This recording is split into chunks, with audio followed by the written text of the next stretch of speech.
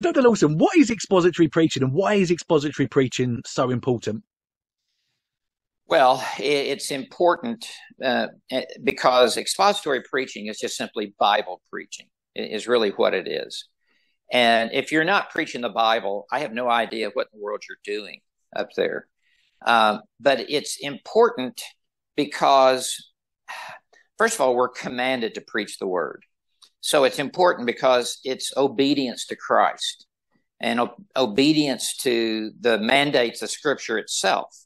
Uh, but more than that, uh, preaching the Word of God really elevates the worship in a church because you will have a higher view of God as you sit under expository preaching.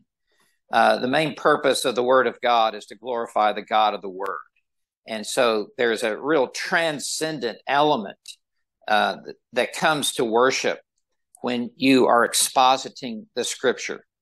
Uh, second, it, it really becomes, I think, the chief means of sanctification in the life of a believer.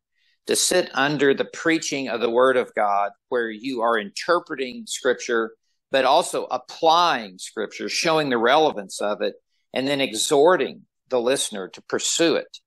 Um, and so it really becomes the means by which a church grows spiritually in the grace and knowledge of Christ. Uh, further, you are modeling for your church how to study the Bible. However, you handle the scripture in the pulpit is how they will handle it at the breakfast table uh, or in their den. And only expository preaching really shows how to give careful attention to things like word studies and context and historical background and cross references, etc. Further, you are equipping the church to do the work of ministry. Um, as you are expositing scripture, you are training them in how to witness, in how to counsel others, how to raise their families, um, how to be productive in their Christian life in serving the Lord. And, and further, uh, you're actually preaching the gospel as you're preaching expositorily. And there are souls that will be soundly converted and they will have assurance of their salvation as they sit under strong preaching of the word of God. And then I would further add that young men will be raised up to preach as they see you modeling um, expository preaching.